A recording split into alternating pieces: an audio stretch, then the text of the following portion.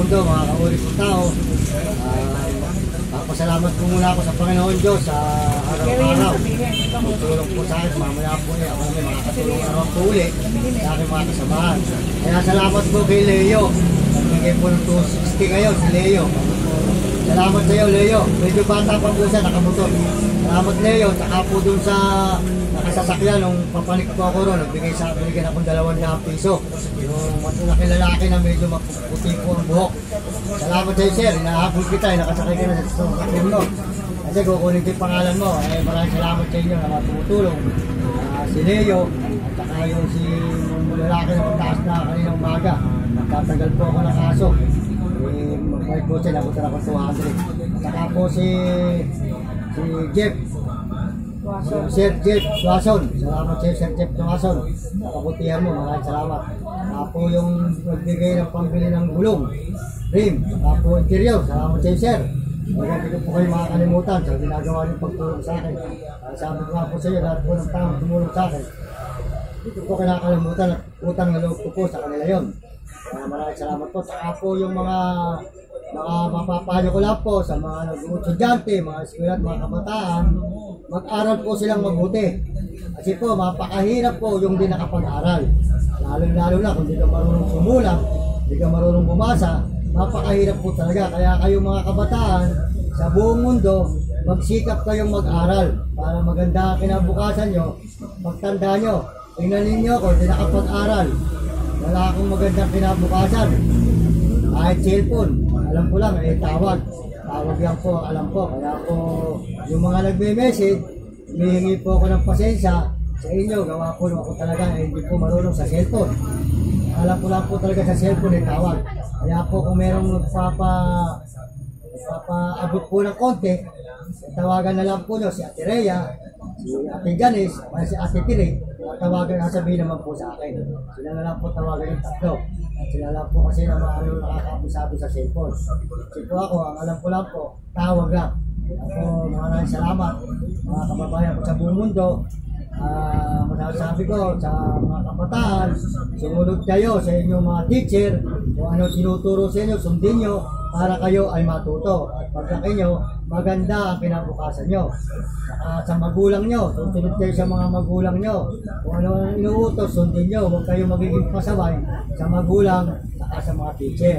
Kasi yan ang magdadala sa inyo sa inyong pagtanda para kayo ay gumanda ang buhay.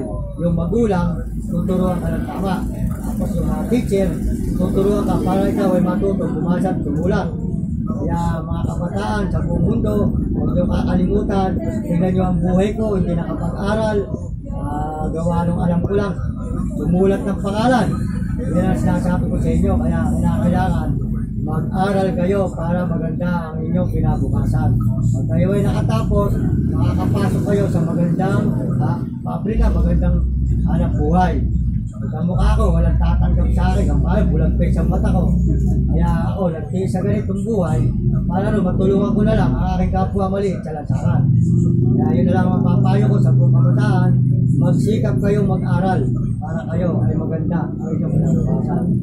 Tapos po, mga kababayan ko, salamat po sa sa blower, subscriber, at saka po sa follower. Maraming salamat po sa follower, blower, at subscriber. Maraming salamat sa inyo at mga nanonood.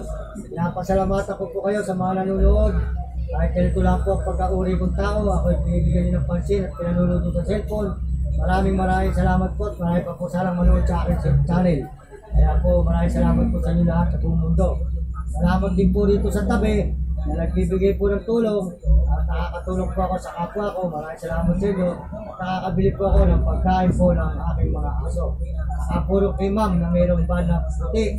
Ah, yung ano, yung ban na puti, yung putoner na nagbibigay po siya ng ang supot na piritong manok, kain lang po doon ng aso. Kaya nakakain ko po sa aso, dahil po naman po kasi sa akin ng manok kasi po kayo allergic.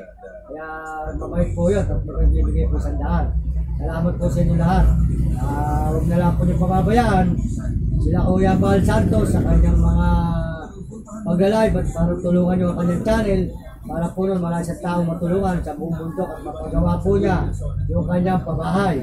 Saka po si Kuya Julay, si Kabisnes at si Kapeso, at saka po si Ate Edna Vlog, at saka po si Bong Guerrero, at saka po si Min- Minulal sa ibang bansa.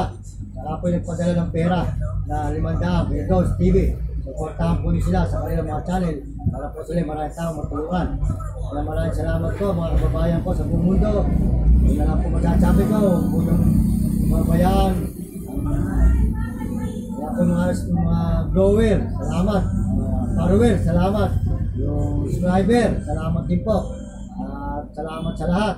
Paalala po sa mga kabataan, mag-aral lang mabuti para po maganda ang maging kinabukasan. Para wag po akong wag po mapari sa aking buhay. Tumanda na walang pinag-aralan. Kaya maganda po kayo mga kabataan, magsikap kayo, sumunod kayo sa magulang, sa teacher.